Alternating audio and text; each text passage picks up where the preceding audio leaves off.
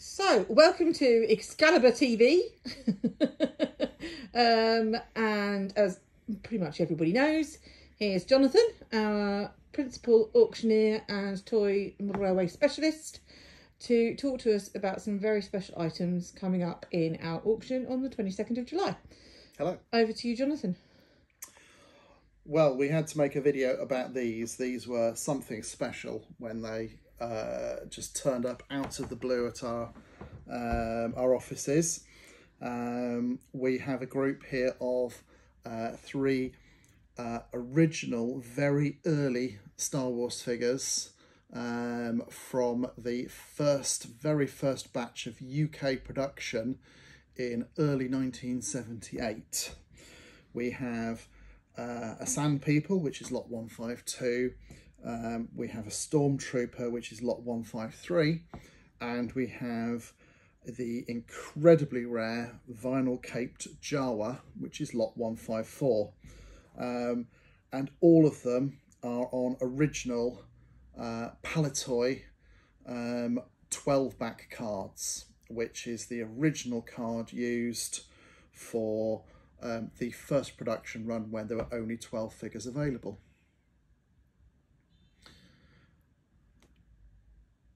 Shall I go on? I'm sure they want to know a bit more.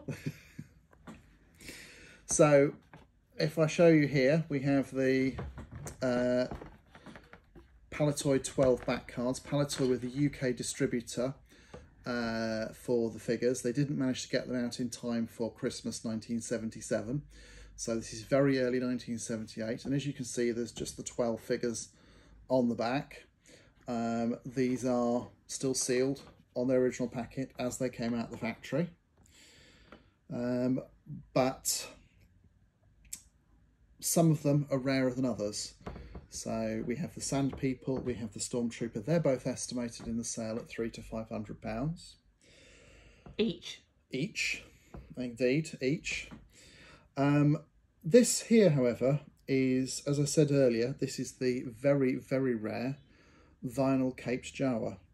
Uh, up until about seven years ago, um, this was thought not to exist on a Palitoy card. Some of these had had um, been found on uh, Kenner cards in the US. Kenner were the US distributor of the toys, but it was thought that um, this model had been replaced by the time it got in got to the UK distributors.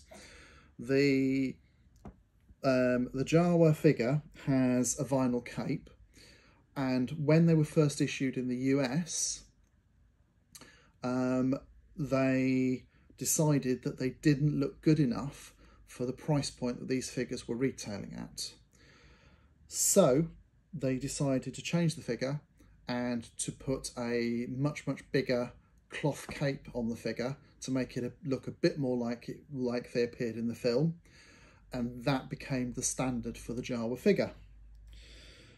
Um, because the U UK uh, distributors were running a little bit behind the US distributors, they assumed, people have assumed that none of these made it to the UK in time to put on a Palitoy card before they were superseded.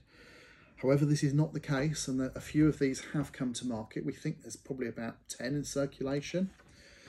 Um, but this one very much proves the timeline because this one um, was provided by Palitoy to Marvel UK right at the beginning of the production run for use as a promotional item in a competition that Marvel UK were running in their Star Wars Weekly comic, giving away full sets of these of these figures, full sets of 12. The vendor who supplied these is was the art director for Marvel UK, and as the story goes, a set of 12 came in to be photographed, or various figures came in to be photographed.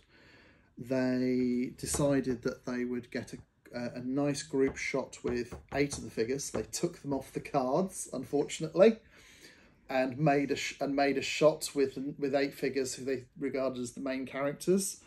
But the lesser characters they decided to leave out, and these got left on their cards and just made it home with the art director, and they've been sitting in a drawer ever since. Um, So you said that the Sand People and Stormtrooper have got estimates of three to five hundred, and you've mentioned that the Jawa's more rare. So what estimate is that going in with? well, we're putting a conservative estimate on the Jawa at ten to fifteen thousand pounds. Um, one of these has sold previously, uh, about three years ago, for twenty-two thousand pounds. Um, this one has a couple of minor scuffs just to the corners of the card here and here. Um, but interesting enough, what it does have, which the other one didn't, is an unpunched card. The the shelf um, hanging tag is still in situ in the card at the top here. Um, another of these figures, but on a Kenner card, sold late last year for twenty seven and a half thousand pounds. But we just have to to be conservative. The figure is here to sell, um, and it'll be interesting to see what it makes. Thank you, Jonathan. So that's lot 154, the Star Wars Jawa, uh, in the next Excalibur Railway uh, diecast vintage toy auction on the 22nd of July, starting at 10 o'clock in the morning. Um, so these will be going through under the hammer at about 11.30 if you want to tune in and see what it goes for. Thanks for your time. See you then.